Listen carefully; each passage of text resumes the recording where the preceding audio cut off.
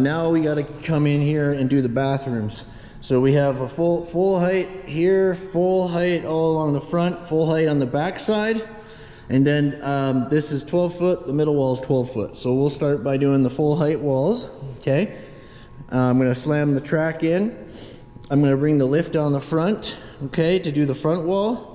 And then I'll do this this wall, that wall, and then I'll come in and, uh, with my bench or whatever, and I'll just put this, the, I'll do the back wall, and then I'm gonna put this wall in the middle. Yeah, you'll see how it, how I do that. Okay, so got that wall done. Uh, it didn't go all the way up because there's a, it's like literally right where that angle is. So I attached the top track to the angle. Um, but yeah, with heavy gauge, you can see how we do headers, like uh, little cripple stud type things, six inch pieces. And uh, yeah, you don't do, uh, you don't do like um, uh, shoes with you know, with heavy gauge. There is a way like you can cut, or it's called rabbit ears, um, but we don't do that. We just use pieces of stud, like cripple six inch pieces. And then, uh, yeah, but for headers even, like I just use shoes up there for that header even, but you could do uh, rabbit ears or bunny ears or whatever they call it uh, for that. At some point I'll show you guys those. So because this one didn't go all the way up, I decided to change my layout. And as you can see, uh, originally I was gonna have the, the piece, uh, the, the floater on this side, but now the floater will be on, will be the full height wall here. So this one will go all the way up to the Q deck. Um, it should stop just on the inside of this duct here. But yeah, we're gonna get the side full height walls, full height, full height, and then this is 12 foot, the six inches 12 foot, and then there's a 12 foot three and five eighths in the middle, and then the ceiling at uh, nine foot in, in the back.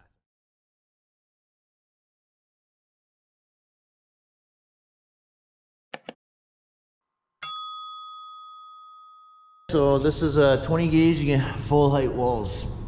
The, um, there's an angle up there, uh, of course, right in the middle of the wall. So I just shot my top slot track to that angle. When it comes to the drywall, I'm gonna, we can just run it wild up, use backing for the joints. Um, it, it's, yeah, you could put an angle maybe like up there, but you'll have to put braces and an angle. The braces will be visible, so yeah. I would just run the drywall up at this point. Um, headers, okay, on a with 20 gauge, I use little six inch pieces of stud, okay? I I check for my high side and um, square square across elevation, okay? On everywhere, square across elevation, mark it with a marker. So I put my six inch piece a quarter inch above that and uh, then yeah, I can easily make sure it's square visually. Uh, clamp, clamp, screw in it, screw it in, okay? So same thing over here, right? Boom, boom. And uh, yeah, you're coming three quarters of an inch down for deflection, so your studs are three quarter an inch shorter. So, um, like I was saying, okay, when I have a door, uh, doorways like this and the doors swing inwards to the wall, and it's a three and five eighths, I put a one foot piece right there, okay? Just one foot piece in the middle. And then I then I lay out my doors, okay? So these are 36 inches, so I went 38, okay? I went two inches above. This is a six foot eight uh, elevation, okay? So I went 82 half for my headers, okay? A, for a six foot eight elevation for the door. Uh, and then that, so I say for a three foot opening, I go uh, 38 inches for the steel. Alrighty. Um, yeah, so furring wall's done. We're gonna come in, we're gonna do this back six inch wall, uh, middle three and five eighths. And uh, there's a build out wall here, one at the front, and then this other furring wall, and then we're pretty much good to go.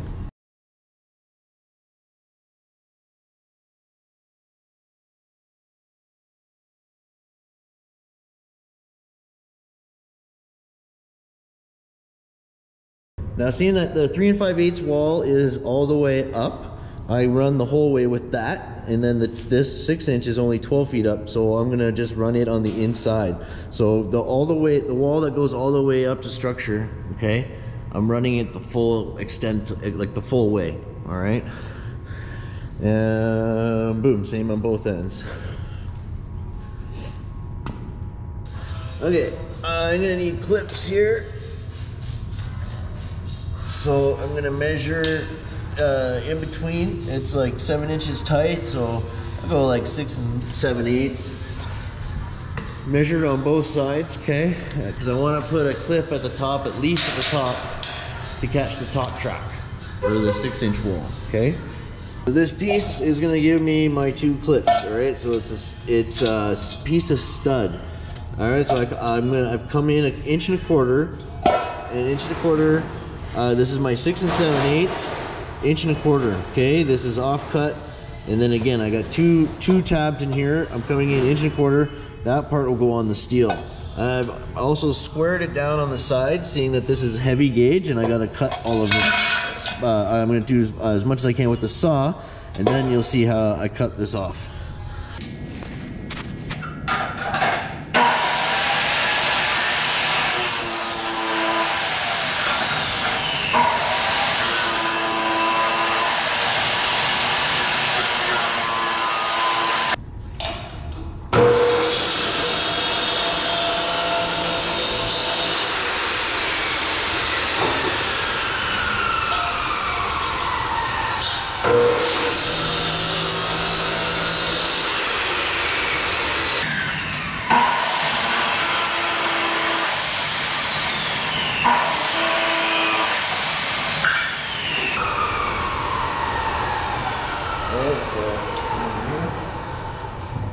No go right at the top for the pick up the top track.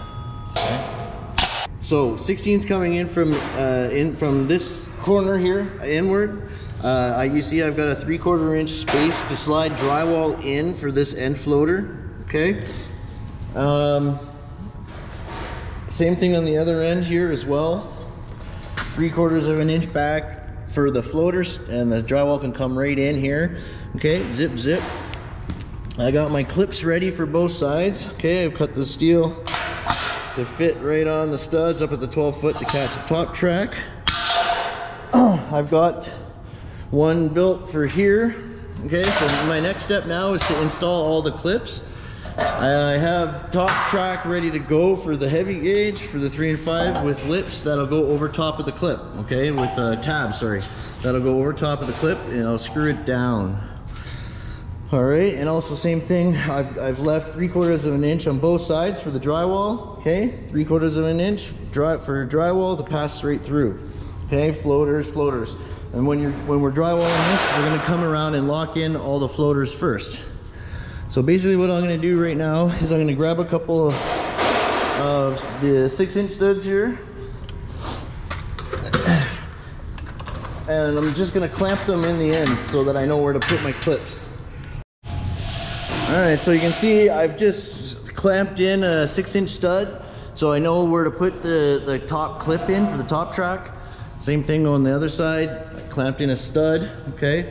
That's just so I know where to put the track in. And then I'll, what I'll do is I'll just laser it across for the three and five eighths one. So straight as an arrow, you can see, boom.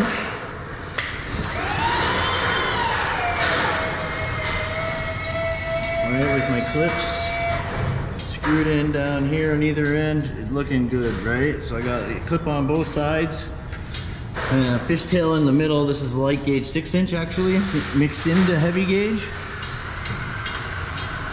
That's all the supplier had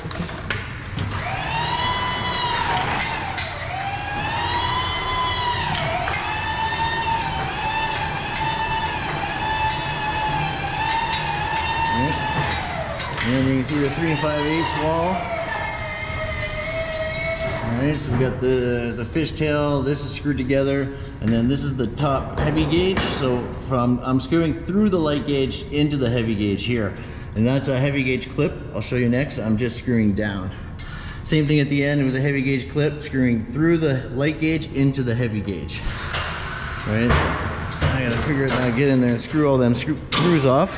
So go in that bin, that box in the back there, Ben, with your gloves on, and, and get some of those little wafer screws. You'll see a pile of screws in the bottom of that box. You'll see in the corner. Get out as many of the little black ones as we can find. Okay. yes. So uh, yeah, you can see I got my layouts done on the ground. I'm lasering up the track, lasering up the layout. Uh, same same deal up here with the clip. Okay, this is heavy gauge, right? Just screw this clip in, and I'm screwing it down. You'll see down, right? But yeah, same thing over here, okay? And then yeah, I'll have a floater on each end for the drywall. The walls are complete. Everything's squared and screwed off at the top and the bottoms. All right, okay, uh, except for my floaters, they're not. You can see now this wall is complete. The, the shell's complete. Uh, the middle wall's complete, so it's time to do the ceilings now.